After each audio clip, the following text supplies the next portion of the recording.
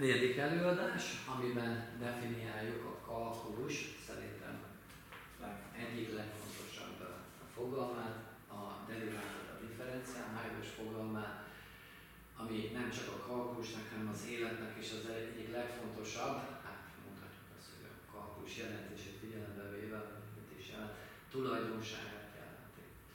Jó? Hagyjuk.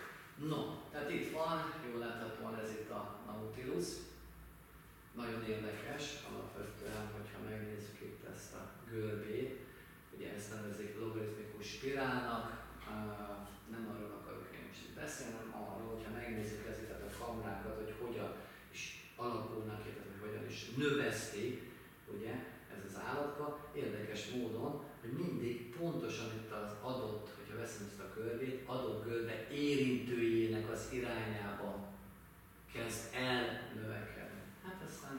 Elkanyarodik, de az, az már egy másik kérdés. Jó?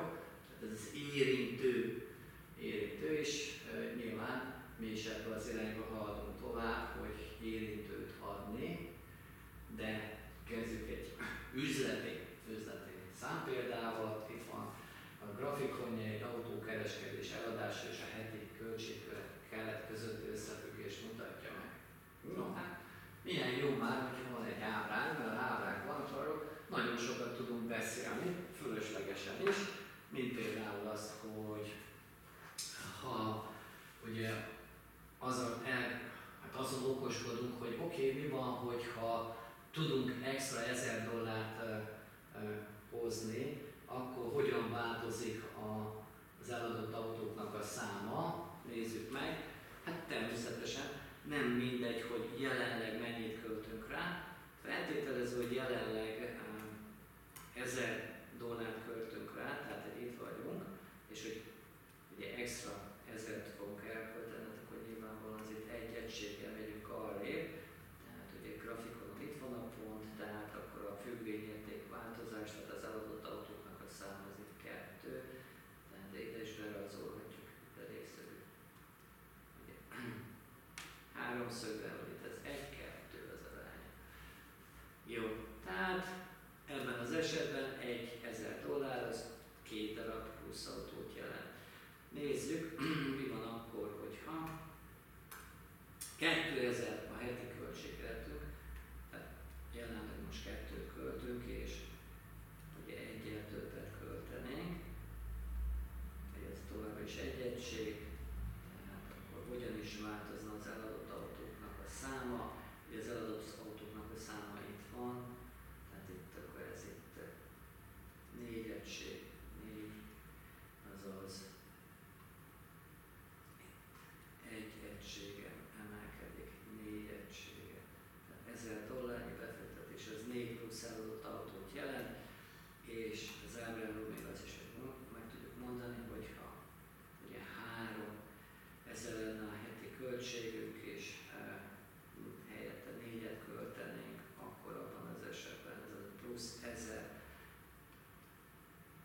dollár az, itt jól látható, 16-ból 8, ez 8, tehát ez 8 plusz 8 darab előtt autót jelentene. Jó? Na, például ezt is látjuk. Hát most itt eltekertem gyorsan, és akkor az egy szebb ábrát tudja mutatni önöknek, hogy no, például ez leolvasható erről. Jó, még mi olvasható le? Hát még az olvasható le, hogy hát oké, okay, én tudom, hogy most jelenleg nekem a heti költség keretem, amit költök reklámra, az 1000 dollár. Jó? Tehát nem az, hogy kettő vagy három négy lenne, nem, 1000. És akkor ugye azt tudjuk, hogy egy 1000 extra dollárral, akkor kettővel tudnám növelni. De mi van, hogyha kéne kölcsön a banktól, vagy valami hasonló, szomszédtól, 2000 dollárt, hát akkor a 2000 dollár, extra 2000 dollár, az már 6 plusz 6 darab eladott, eladott autót jelent, és hogyha még a másik szomszédtól is kérek, tehát 3000 extra dollárt, akkor bizony e, már 14 darabbal több autót tudnék eladni, tehát e, ezek alapján nyilván akkor azt mondjuk, hogy hát próbáljuk meg, kérjünk kölcsön fűtőfától, és akkor az eladott autó számát tudjuk növelni, azzal valószínűleg a profitunkat is, de abban most nem menjünk bele. Hanem azt beszéljük meg, hogy akkor ezek alapján az átlagos változás, ugye, függvényérték változás elosztva a, a változó értékek változásával, az az átlagos változás, akkor itt ebben az esetben csak kettő, itt ez három, ez már több, mint négy, tehát, ups, ez is ugye mondja, hogy jaja, minél több pénzt kérjünk már kölcsön. Jó? No. Oké. Okay. De mi van, ha senkitől nem tudom kölcsön kérni, sőt, tőlünk kértek kölcsön, és akkor 1000 dollár sem tudok befektetni eh, extrába, hanem csak 500-at, hát akkor bizony, bizony, ugye, innen ide, hát akkor, eh, bocsánat, ja igen, tehát egyről, hát akkor csak ide fogok fölmenni, na most ez igazából három sincs, jó tudom, 3,9 autó nincsen, de és ez a lényeg, az sem jól láthatóan, ahogy ö, csökken az extra, ugye, pénz, amit küldhetünk a reklámra, akkor nyilván egyre kevesebb és kevesebb autót tudnánk arányaiban is eladni, jó? Tehát itt a felnit tudnánk csak őből megvenni az autóra. Hát arról nem beszél, hogy 10 vagy 1 dollár, az nem is látható. Oké? Okay? Az nem látható.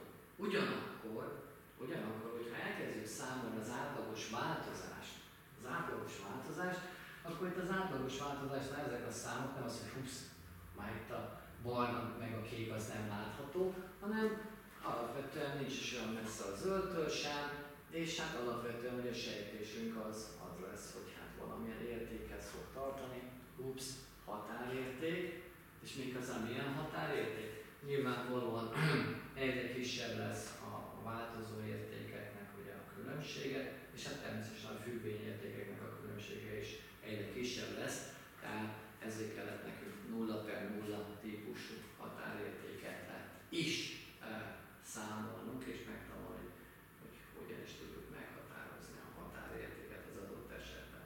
Jó? No, és akkor ezen bevezető után nézzük, hogy hogyan is fogunk eljutni az, az, ahhoz az érintő egyeneshez. Tehát annak idején beszéltük, hogy az átlagos változás az nem más, mint ezen pontokon átmenő szelőnek a meredeksége. Így van? Tehát ez sem nagyon új, ugye ez volt, és mi történik abban az esetben, ja, egy új fogalom, hát most akkor azt mondjuk, hogy ez itt a differencia hányados, nem nagyon fogjuk használni, itt hiányzik belőle az elbetű, differencia hányados, differencia hányadosról fogunk beszélni, de azért mégis tudjuk azt, hogy különbség van a két fogalom között, jó? És ahogy ezek a egyre közelebb és ugye közelebb kerülünk az x értékhez, az, azaz a h, h, ugye ez a plusz h tart a nullához, akkor jól láthatóan, tehát itt van ez a szelő van, itt ebben ez a szelő van, itt ez a szelő adódik, itt vagyok, akkor meg ez a szelő adódik, és hát feltételezve, hogy szelőknek lesz valamilyen határhelyzete, tehát hogy ténylegesen aztán így beáll, tehát mozog ilyen irányba, aztán beáll itt ebbe az irányba, akkor azt, ahová beáll, azt nevezzük az érintőjének, a függvényük az x pontban vett, akkor kapjuk meg az érintőt. Jó? Na már most itt felhívnám a figyelmet, hogy maga az ábra, ugye csak arról van hogy 20, itt jobbról haladunk. Hát ahhoz, hogy érintő legyen, igazából ugyanezt el kéne játszani balról is, balról is, mert a definícióban az van, tessék megnézni, hátart a nullához, nem nulla pluszhoz. Tehát itt igazából ez a kép nyilván sokkal csúnyább lenne, hogy most itt ebben az irányba is elkezdeném ezt venni, de nagyon lényeges, hogy ezek a szedők nem csak innen, hanem innen is jönnek, és hogyha a határhelyzet létezik, azaz ez a határérték, azaz a bal és a jobb oldali határérték is létezik, akkor mondjuk, hogy a görbéhez ebben a pontban nyilvánvalóan érintő húzható. Jó? Rendben van? Ugyanis, ugyanis még kell ezt annyira hangsúlyoznom, itt van ez a kék a görbénk, jó? És jól láthatóan, mennyire jól láthatóan, hogyha nem tudom letakarni, hát itt, itt, itt tudom letakarni, így le tudom takarni. Hogyha csak pozitív hátra vennénk az egészet, akkor itt ez lenne ebben a pontban a görbének az érintője.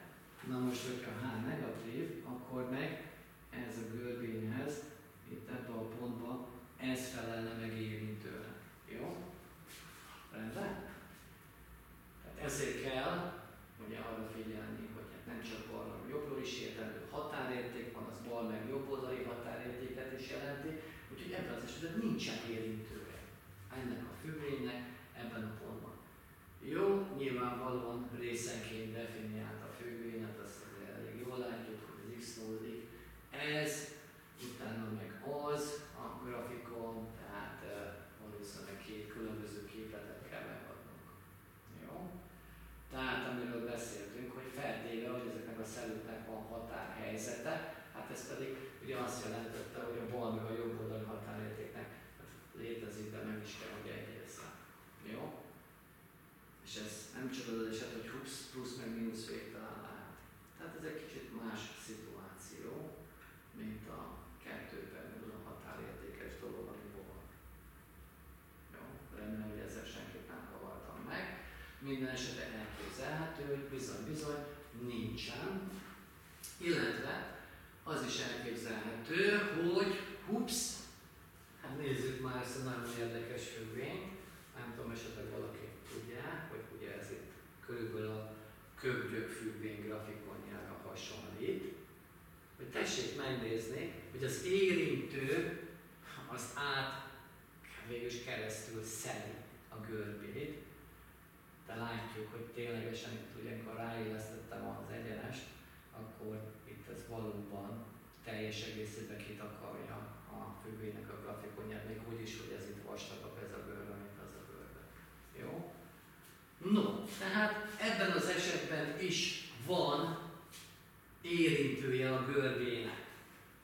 Ezt azért kell hangsúlyozni, hogy ebben az esetben is van érintő, érintő egyenes a görbének, mert ez milyen egyenes? Ez az Y tengelyjel párhuzamos, tehát akkor ez nem egy függvénynek a grafikonja. Jó? Ez az y egyenlő x0 egyenlő egyenesnek a, ugye, a görbéje a xy-síkon. Jó? Rendben van? Tehát ez nagyon fontos lesz. És még egy